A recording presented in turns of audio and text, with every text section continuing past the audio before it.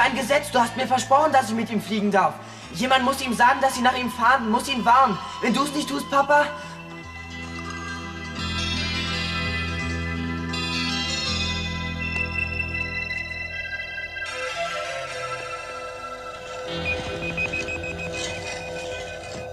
Zeitmaschine AL2 startbereit.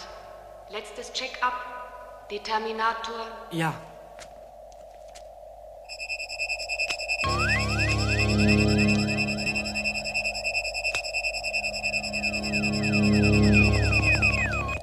Beide Funktionen klar. Kontrolle des Assimilators des mutanten Raumanzugs.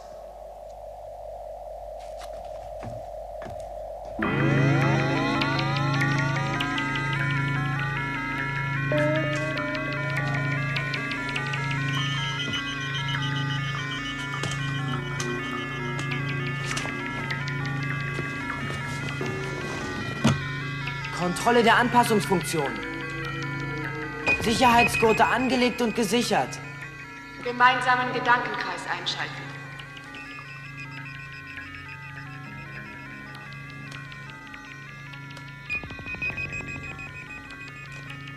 Das grundlegende Gesetz der Reisen in der Zeit. Niemand aus der Zukunft hat das Recht, die Vergangenheit zu verändern, in sie einzugreifen.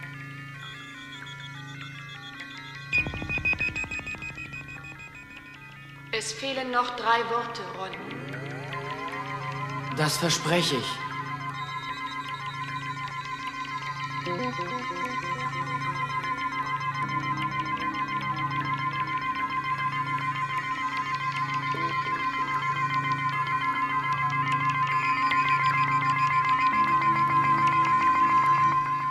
Aber wenn ich ihn warne, verletze ich doch nicht das Gesetz. Er selber war bei den ersten Reisen in die Vergangenheit dabei. Er selbst hat dieses Gesetz gefordert. Wir verlassen den Zeitraum Delta G. Welche Zielrichtung? Chateau Noir, das ist das Codewort für den Kurs, Ael. Er muss bei dir programmiert sein. Wir sind bereits zweimal dort gewesen, Ael. Einmal war Vater dabei. Die Zeit des Grafen Saint-Germain. Wir sind nicht allein. Vor uns fliegen drei Zeitmaschinen zum Chateau Noir. Soll ich Verbindung aufnehmen? Nein, was sind das für Maschinen? Transportmaschinen für schwere Lasten. Der alte Typ AF3. Wir sind also schneller. Nicht viel. Wir befinden uns über Europa im Jahre 2623. Von der Zeit des Chateau Noir trennen uns noch mehr als 1000 Jahre. Versuche sie zu überholen, aber so, dass sie uns nicht orten können.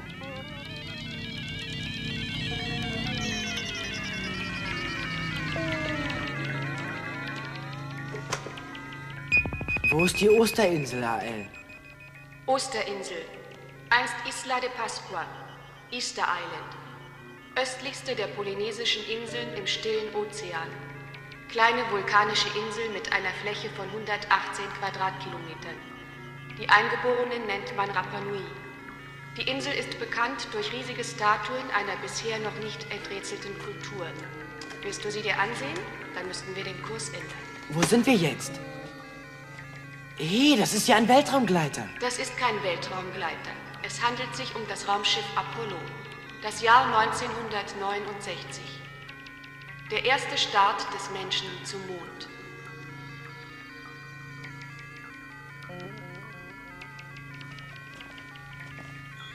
Das hatten wir mal in der Schule.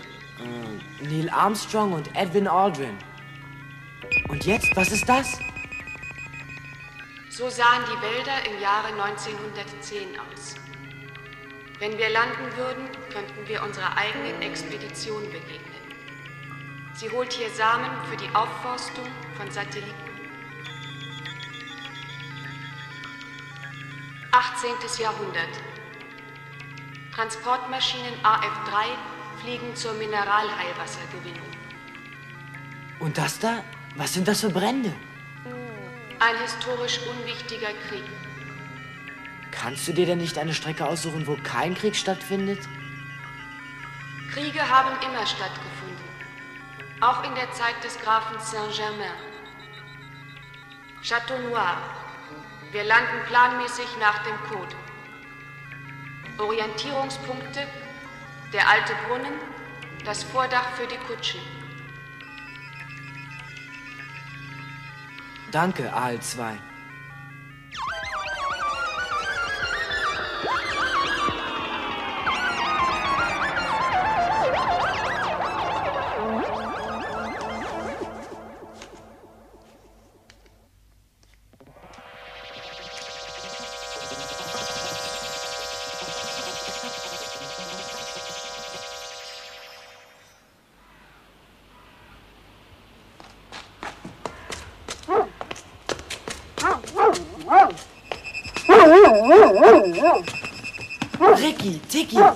Ihr Burschen seid aber gewachsen. Na, was ist? Hm? Schmecken euch die Bonbons aus der Zukunft immer noch nicht? Mir schon. Die hier sind gegen das Vergessen. Wo sind denn eure Herren? Brave Hunde, aber gespielt wird erst später. Jetzt haben wir keine Zeit. Herr Dr. Bernard, würden Sie die beiden rufen? Ricky, Tiki, auf eure Plätze. Ja, Goran. Also ist es doch wahr. Sie haben die Statuen gestohlen. Warum gleich so ein hartes Wort? Wir haben sie ausgeliehen, studiert und schaffen sie wieder zurück. Also, morgen früh werden sie schon weg sein. Zurück zu den Osterinseln. Eigentlich sollte das eine Überraschung für dich sein. Die letzten Vorbereitungen für deine Ferienreise. Ja, aber inzwischen sind ein paar Zeitmaschinen auf dem Weg hierher. Die Akademie der Wissenschaften beschuldigt sie, gegen das Gesetz verstoßen zu haben. Morgen wird es schon zu spät sein, Dr. Bernard. Wo ist mein Onkel? Sie sollen ihn nicht finden, jedenfalls jetzt noch nicht.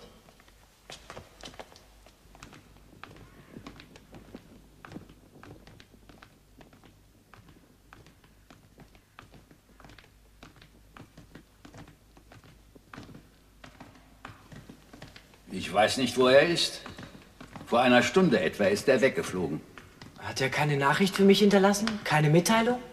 Vielleicht ist in der Bibliothek beim Schachbrett eine Nachricht, mein Herr. Sollten Sie Tee wünschen, brauchen Sie nur zu klingeln. Ich erlaube mir, Sie darauf hinzuweisen, dass ich in dieser Woche im Schloss Dienst habe. Die Dienstzeit des Grafen ist gestern Abend zu Ende gegangen. Macht Ihnen das immer noch Spaß, Ihr Spielchen Diener und Herr? Was ist Wirklichkeit und was Spiel? Chateau Noir. Wir aus der Zukunft in der Vergangenheit?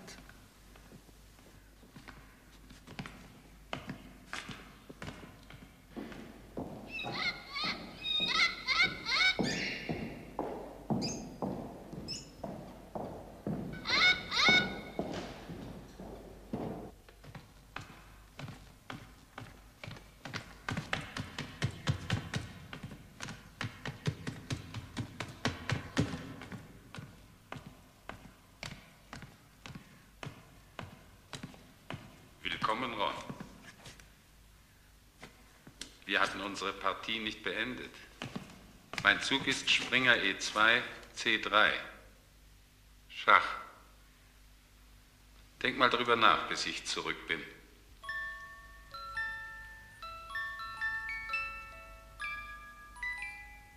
Wunderschöne Musik, was? Fontanenstraße Nummer 19. Hm.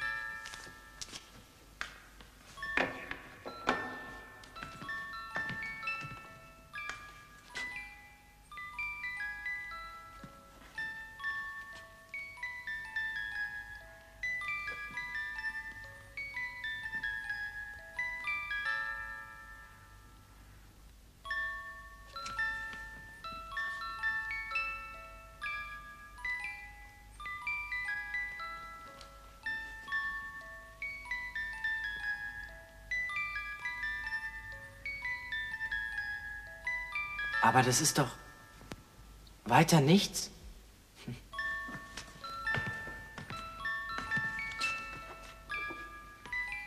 Mein Zug ist Springer E2, C3. Schach. Denk mal darüber nach, bis ich zurück bin.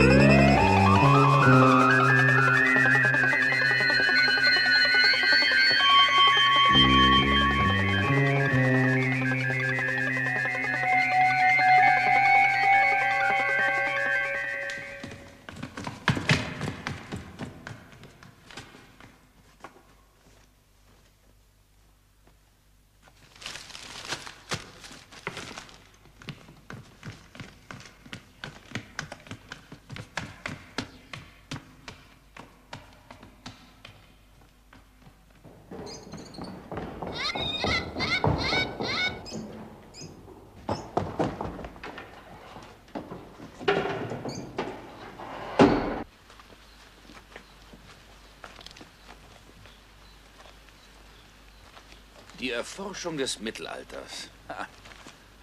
Wir müssen die Statuen zurückbringen. Also hier nennt sich Dr. Graf Graf Saint-Germain? Von einem Wissenschaftler seines Ranges hätte ich alles andere erwartet. Nur nicht, dass er den Dr. Faust spielt. Sehen Sie, es ist wunderschön hier. Wenn er auf die Idee käme, uns für ein paar Tage einzuladen, ich ließ mich überreden. Unser Zauberer? Den finden wir nie. Das hier ist eine völlig unsinnige Mission. Er wäre verrückt, wenn er auf uns warten würde. Kindischer Einfall, ihn irgendwo in irgendeiner Zeitdimension suchen zu wollen. Sind wir jetzt im 16. Jahrhundert? In der ersten Hälfte des 17. Jahrhunderts.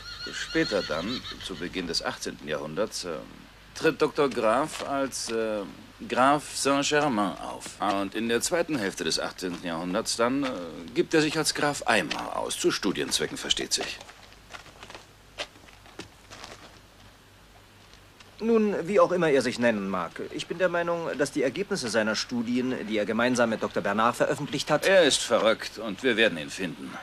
Seine Maschine haben wir auch gefunden. Er darf nicht wegfliegen, bevor er uns verraten hat, wo er bei Übertretung des Gesetzes die anderen Statuen versteckt hat. Wir beschuldigen nicht Sie, aber Dr. Graf sollte wissen, dass die Akademie das Projekt der Suche nach dem verschwundenen Atlantis schon vor zehn Jahren aus dem Forschungsprogramm gestrichen hat. Ein Traum, Science Fiction. Aber auch wenn es keine Legenden oder Märchen darüber geben würde, was haben Sie eigentlich mit dieser idiotischen Entführung der Statuen bezweckt? Warum haben Sie die Statue nicht an Ort und Stelle untersucht, Dr. Bernard? Es ist eine Insel. Wir müssten mit einem Schiff hinfahren. Und es würde auffallen, mit der Technik des 30. Jahrhunderts zu arbeiten. Außerdem wollte Dr. Graf keine Zeit verlieren, schon gar nicht durch solche Umstände. Warum mit einem Schiff? Wenn wir mit einer Zeitmaschine landen würden, würden uns die Eingeborenen als Götter betrachten. Würde die Akademie das nicht als unerlaubten Eingriff in die Historie werten? Dass Sie von der ganzen Angelegenheit erfahren haben, bevor wir Gelegenheit hatten, die Statuen zurückzugeben, ist ein dummer Zufall. Was uns interessiert ist, wo sich Dr. Graf jetzt befindet. Sie sagen, er sei weggeflogen, aber nach unseren Informationen befindet sich im Chateau Noir nur eine einzige Zeitmaschine, die Sie gemeinsam benutzten. Die haben wir entdeckt. Dr. Graf kann also nicht weit sein. Auch wenn Sie versuchen sollten, ihn zu warnen. Wir sind nicht in Eile.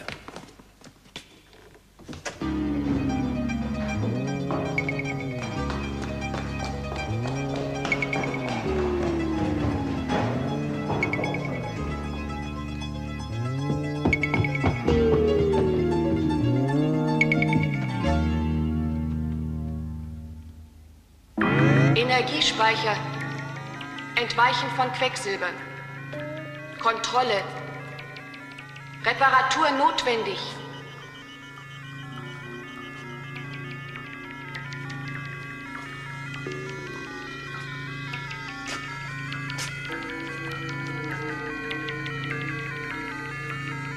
Auf Automaten umstellen, Startvorbereitung einleiten.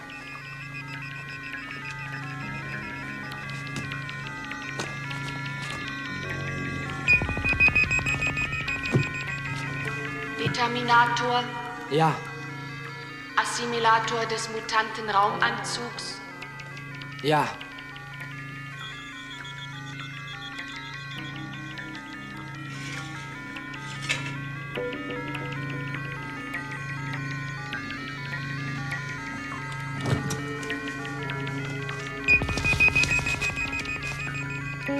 Aktionsradius vier Jahrhunderte. Ohne Ergänzung des Quecksilbervorrates Rückkehr in die Zukunft unmöglich.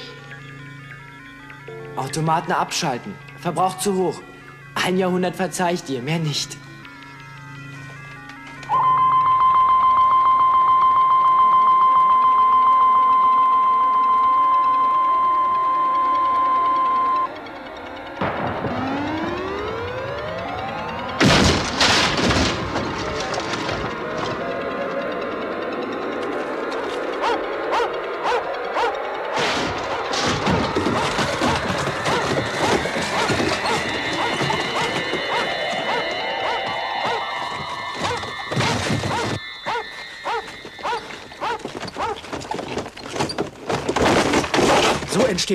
Märchen und Legenden. Die Himmelfahrt des Grafen Saint-Germain. Meinetwegen soll ihn der Teufel holen. Aber was stehen wir hier herum? Wir müssen ihm nach.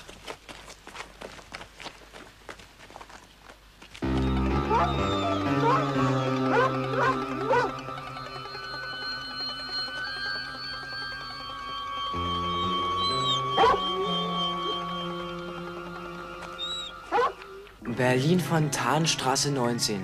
Das kann doch kein Zufall sein.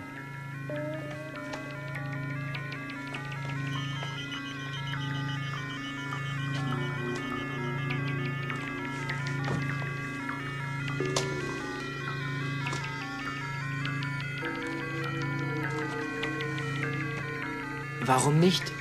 Im 20. Jahrhundert bin ich noch nie gewesen. Das ist, glaube ich, die Zeit der benzinbetriebenen Motoren vor der Besiedlung des Mondes, nicht wahr? Hm. Tut mir leid. Ich hätte wohl etwas mehr lernen sollen. Umschalten auf Automaten. Umschaltung auf Automaten durchgeführt.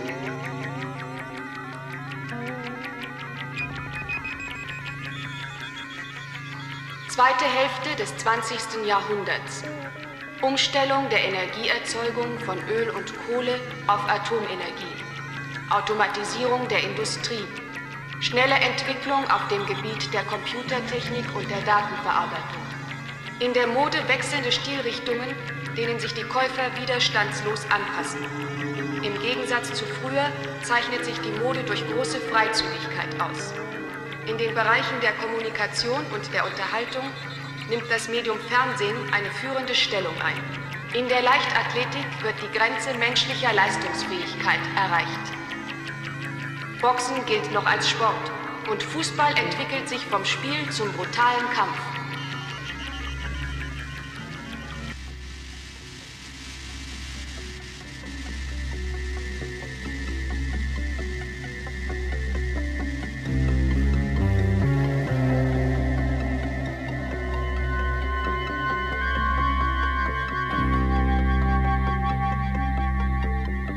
Maschine des Grafen Saint-Germain. Ich glaube, seinen Titel können wir uns sparen. Wir sind aus der Zeit der Adelstitel heraus.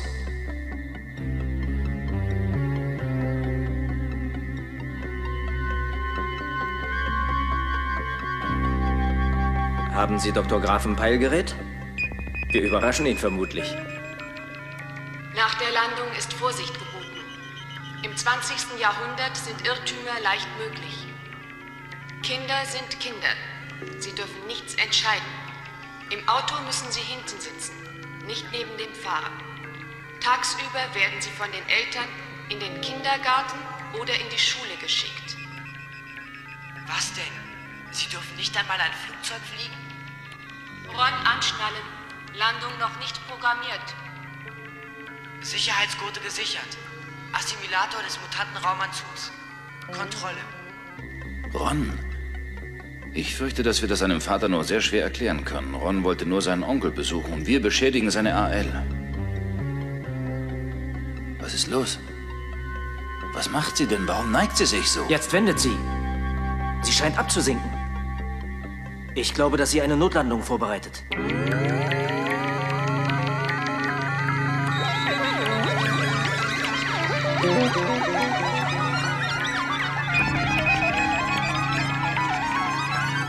Befinden uns über Berlin, Fontanenstraße. Defekt im zweiten Schaltkreis. Schaltkreis. Schaltkreis.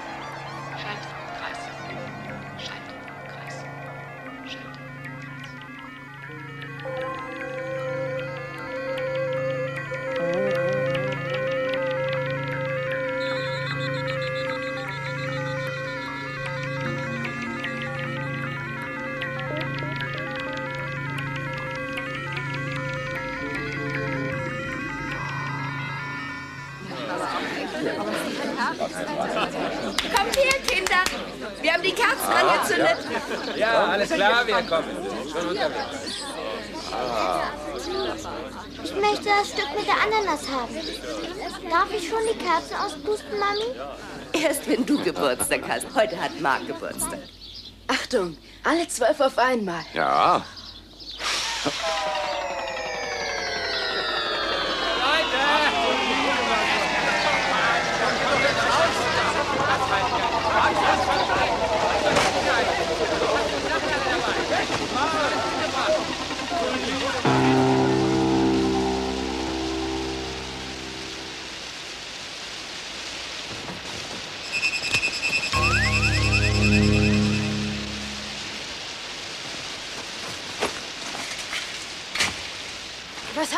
Judy? Was ist denn los?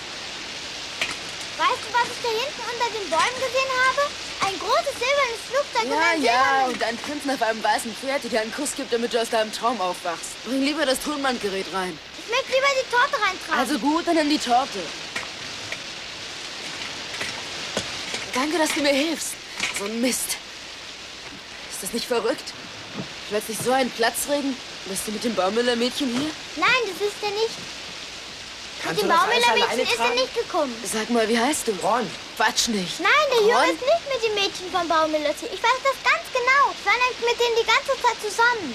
Und mit dem Peter ist er auch nicht gekommen. Der ist doch mit... mit seinem Fahrrad hier. Keinen wollen sich verabschieden. Ja, ich komme. Trotzdem. Ich habe dich vorhin gesehen, als du kamst. Mir kannst du es ja sagen. Ich werde es auch bestimmt keinem verraten. Aber was soll ich dir sagen? Tu nicht so. Ich habe dich vorhin ganz genau gesehen, als du aus dem anderen Garten gekommen bist, wo es schlug. Glaub mir, in der Nacht sind dort niedliche Zwerge. Die laufen herum und machen Musik. Ja, mit einem kleinen Klavier. Was suchst du? Etwa so? Ja, Hör zu, ich könnte dich irgendwann mitnehmen, wenn du keinem was sagst. Vielleicht brauchen die Zwerge ein neues Schneewittchen. ja, aber dann müsste ich ein goldenes Schleppenkleid tragen und alle Zwerge müssten auf mich hören. Geht Ja, schnell ja, ja. Das ist wirklich Wiedersehen. schade, ja. Auf Einen Wiedersehen. schönen Tag noch. Fahren Sie vorsichtig. Ah, Das ist schade. Hat Sturm mir aus der Hand gerissen. Komm bloß schnell rein. Na, geh schon, schnell. Oh.